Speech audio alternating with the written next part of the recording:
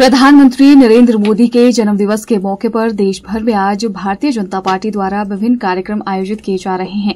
वहीं प्रदेश की राजधानी शिमला के कालीवाड़ी मंदिर में भी भाजपा शिमला मंडल और माँ श्यामला वेलफेयर सोसायटी की ओर से भंडारे का आयोजन किया गया और प्रधानमंत्री की दीर्घायु की कामना की गई। भाजपा कार्यकर्ताओं ने कहा कि प्रधानमंत्री नरेंद्र मोदी की दीर्घायु की कामना करते हुए आज के इस विशेष मौके पर भंडारे का आयोजन किया गया है।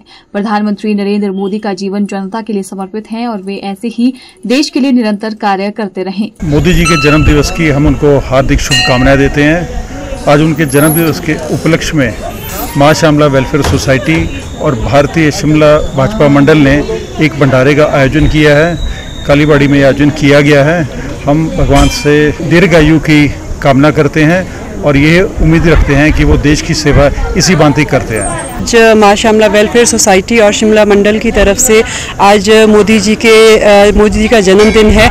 उस उस उपलक्ष्य पे आज जो हमने भंडारे का आयोजन किया है और हम माँ श्यामला के मंदिर में खड़े हैं और उनसे प्रार्थना करते हैं कि उनकी जो दीर्घायु हो और वो जिस तरह से अपने देश की सेवा कर रहे हैं, उस तरह से जो है आने वाले समय में भी और अच्छे अच्छे कार्य करें और देश की सेवा करें।